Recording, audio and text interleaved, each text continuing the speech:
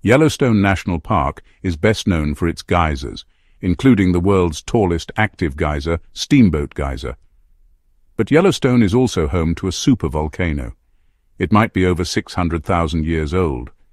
And that makes it difficult to know what kind of shape it's in today because, well, it's hard to date stuff that old. But there are some ways scientists can get a handle on just how ancient it is and whether or not it might be due for another blast.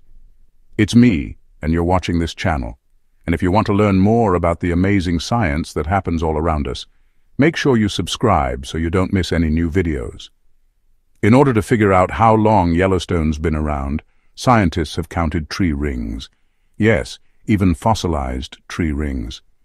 Scientists also used radiocarbon dating, which uses the breakdown of carbon isotopes and computer modeling to estimate the age of an object based on the amount of a particular isotope left in it.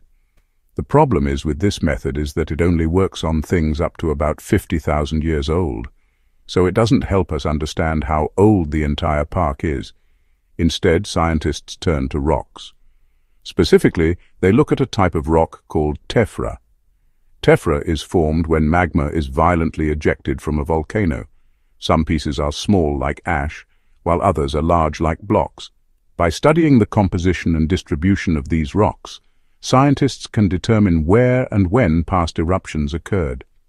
Now, one of the biggest problems here is that while we know Yellowstone has had three major eruption periods, Scientists aren't 100% sure which ancient deposits are from the same events.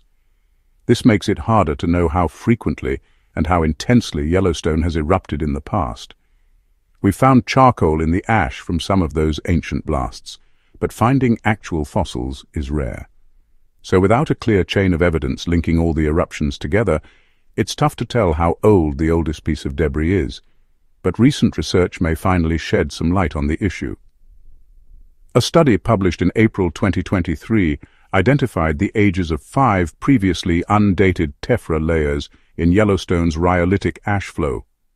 These five layers came from separate eruptions that took place between 14 and 17 million years ago.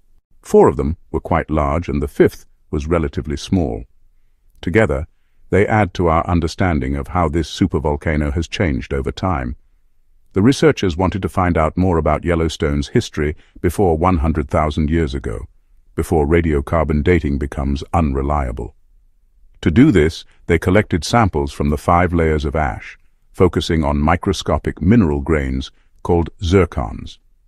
Zircons form early in magma chambers, record the conditions under which they form, and persist through a volcano's entire life cycle.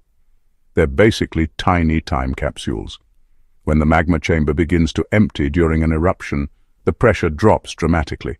That causes some volatile compounds like water and CO2 to become gas bubbles in the magma. As the magma continues to move towards Earth's surface, the pressure rises again. But if the magma contains too many gas bubbles, that pressure can cause the magma to explode violently. The larger the magma chamber and the slower the magma moves, the more gas bubbles can accumulate, and the more explosive the eruption could be. So by analyzing the chemical properties of zircons, scientists can identify the extent to which these volatile compounds affected each eruption and help scientists better understand the evolution of magmatic systems over millions of years. In this case, by looking at the size of zircon crystals, researchers could tell how fast the magma was moving and whether or not it contained lots of gas bubbles. Smaller crystals suggest faster movement and fewer bubbles. Larger crystals suggest slower movement and more bubbles. They also looked at the shape of the zircons to see if they'd experienced changes in pressure similar to what happens in a pot of boiling water when it reaches a rolling boil. Magma that's rising rapidly and violently will cause the zircon crystals to take on rounded edges. Crystals that formed more slowly have sharp edges. Finally, the amount of a radioactive element called argon in the zircons revealed how long each crystal had been cooling. All of this data allowed the team to reconstruct the history of the five magma chambers prior to their violent eruptions. First, the magma chamber related to the Lava Creek event had been slowly filling for over a half million years. Then it emptied in a series of small eruptions. Second, After the Lava Creek eruption, the magma chamber started to refill. But the magma didn't stay put. It moved eastward, creating small magma chambers along the way. The third and fourth eruptions emptied two of these small chambers, but the magma continued to move east and made its way into the modern magma chamber. Finally, the fifth and smallest eruption happened after most of the magma had migrated out of the system. And here's where the fossil record comes in. The researchers found fossils of aquatic animals like diatoms, radiolarians and foraminifera in the deposits from the first and second eruptions. Fossils like these are usually found in marine sedimentary rocks. Their presence suggests that Yellowstone was once a huge lake surrounded by forest. The eruption emptied the lake and created the Yellowstone caldera, which eventually became the modern-day Yellowstone Lake. But the second piece of the puzzle comes from the fission track dating technique. Fission track dating looks at the paths left behind by the breakdown of uranium atoms.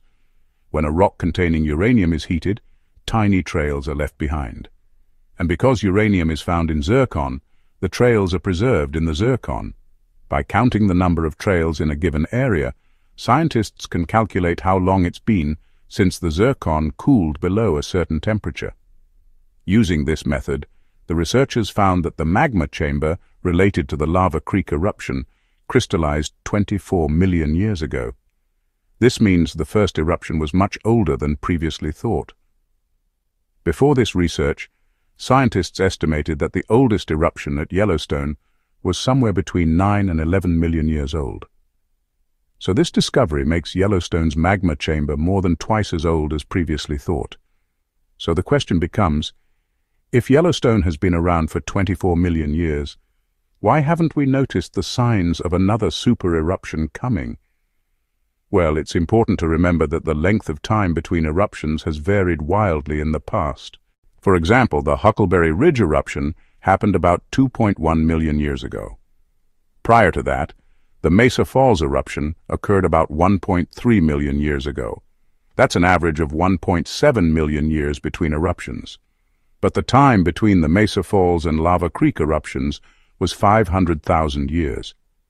This tells us that the interval between large eruptions may be shrinking. But it would be wrong to use this pattern to predict when the next super eruption might happen. There's no guarantee that the same patterns that we observe today will hold true in the future. After all, the time between the second and third eruptions was 10 million years. Plus, it would be a mistake to assume that all of Yellowstone's magma chambers behave the same way. Each one is unique and has its own story to tell. And while the fossil and zircon evidence can tell us about the history of individual eruptions, it can't show us the full picture of how Yellowstone's magma chambers are linked. We simply don't have enough evidence to understand the complete evolution of the whole system. But that hasn't stopped people from trying. One model estimates that Yellowstone's magma chambers are connected and that the entire system holds about 28,000 cubic kilometers of magma. Another group says there are four separate magma chambers, while a third group thinks there are seven. Some scientists even think there are more than 100 individual chambers, and the reality may lie somewhere in between. Perhaps there's a central magma chamber that's connected to smaller chambers scattered across the region. Or maybe the connections between chambers come and go as magma migrates through the crust. As we continue to gather more evidence and test different models, we'll begin to understand Yellowstone's eruptions in greater detail. And that will not only teach us about the history of this magnificent place, it will help us prepare for whatever comes next. Yellowstone National Park is open year-round. So if you're near the area, be sure to check it out for yourself. And if you want to support more science explainers, be sure to subscribe and follow this channel. And thanks for watching.